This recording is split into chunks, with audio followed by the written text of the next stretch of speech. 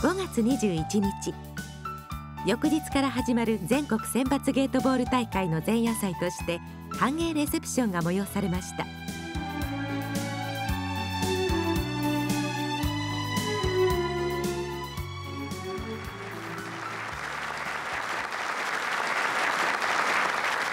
大変笹川会長のそのお元気なお姿を全国の会員の皆さん方にぜひご覧いただくそのことが我々ゲートボールを愛する多くの人たちの力強い健康の源になっていると思うんです。兵庫県ゲートボール連合望月会長の後笹川会長は皆様に挨拶されました。おかげさまで本年5月4日で満94歳を迎えましたが60をとってして身も心も34歳の青年のつもりで今後とも世界は一家人類皆兄弟姉妹の理念のもとに政治経済思想宗教人種国境を超越してこの地球を平和で明るく住みよい世界にするために努力を傾注する覚悟であります。かねて会長がおっしゃいますように単にゲートボールが健康体の健康のみならずともすれば家にこもりがちな兵庫県知事の貝原氏も出席されました。ゲートボールを通じてお互いに交流を深め精神面でも若さを保つ秘訣になっておりますこと大変嬉しく思っているところであります。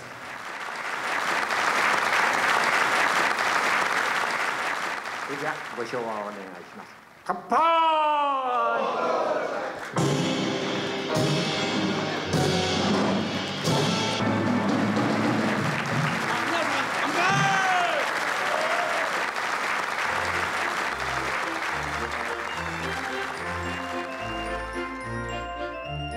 式典の後歓迎レセプションが始まり笹川会長も和やかに談笑されていました。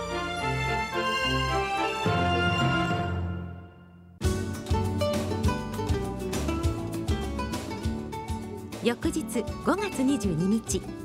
神戸総合運動公園において全国各地から選び抜かれた192チームが集まり第8回全国選抜ゲートボール大会が開幕しました。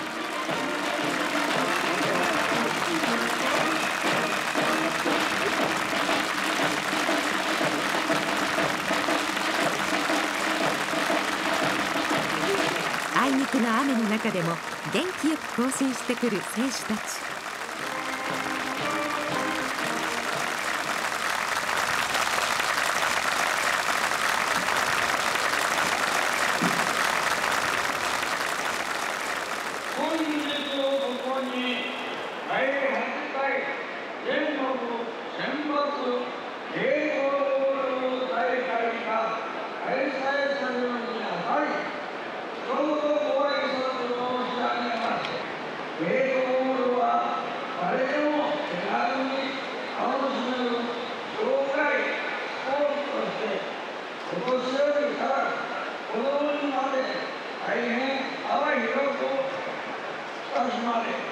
最近では世界各国に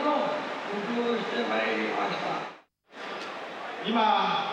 ゲートボールは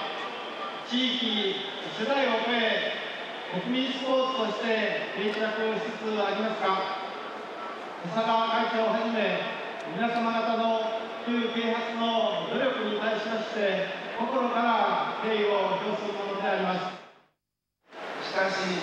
若い人から高齢者の皆さん方までこれ幅広い内容を持ったチームプレーでもあります。